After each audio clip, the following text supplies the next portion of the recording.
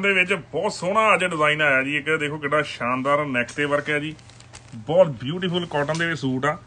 ਇਹ ਪੌਂਚੇ ਤੇ ਕਢਾਈ ਹੈ ਜੀ ਸਾਰੀ। ਇਹ ਸਲਵਾਰ ਆ ਕਰੀਮ ਕਲਰ ਦੀ ਤੇ ਇਹ ਸਾਰੀ ਪੌਂਚੇ ਤੇ ਕਢਾਈ ਆਈ ਇਹਦਾ ਨਾਲ ਸ਼ਰਟ ਬਹੁਤ ਸੋਹਣੀ ਬਣੀ ਹੋਈ ਹੈ ਜੀ। ਦੇਖੋ ਵਰਕ ਨਾ ਖੂਬਸੂਰਤ ਆ।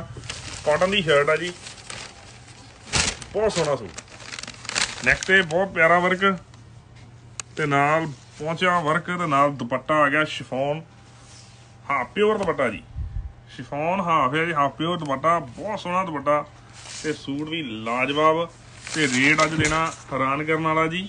ਰੰਗ ਹੁਣ ਚੈੱਕ ਕਰ ਲਿਓ, ਚਾਰ ਕਲਰ ਆਇਆ ਜੀ, ਗਾਜਰੀ। ਬਹੁਤ ਸੋਹਣਾ ਸੂਟ ਹੈ ਜੀ, ਕਰੀਮ ਸਲਵਾਰ ਆਣੀ ਹੈ, ਸਾਰੇ ਪਹੁੰਚੇ ਬਣੇ ਹੋਏ ਆ ਜੀ। ਆ ਦੇਖੋ, ਉੱਪਰ ਤੱਕ ਗੁੱਡੇ ਤੱਕ ਵਰਕ ਆਣਾ ਜੀ ਹੈ। ਨਾਲ ਦੁਪੱਟੇ, ਬਹੁਤ ਸੋਹਣੇ। A1 ਸੂਟ ਹੈ ਜੀ A1 ਦੁਪੱਟੇ ਵੀ ਖੁੱਲੇ ਡੁੱਲੇ ਆ। ਬਹੁਤ ਵਧੀਆ ਸੂਟ ਹੈ ਜੀ।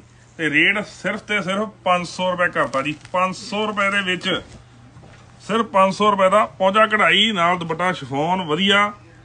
ਉਸ ਤੋਂ ਅੱਗੇ ਆ ਗਿਆ ਜੀ ਪਿਆਜੀ ਪਿੰਕ ਕਲਰ ਕਲਰ ਸਾਰੇ ਹੀ ਬੜੇ ਸੋਹਣੇ ਆ ਜੀ। ਬਹੁਤ ਸੋਹਣੇ ਕਲਰ ਰੇਟ 500 ਤੇ ਪੂਰਾ ਸੈੱਟ ਜਿਹਨੇ ਆਰਡਰ ਕਰਨਾ ਉਹਨਾਂ ਵਾਸਤੇ ਫ੍ਰੀ ਸ਼ਿਪਿੰਗ ਵੀ ਕਰਦੀ ਆ।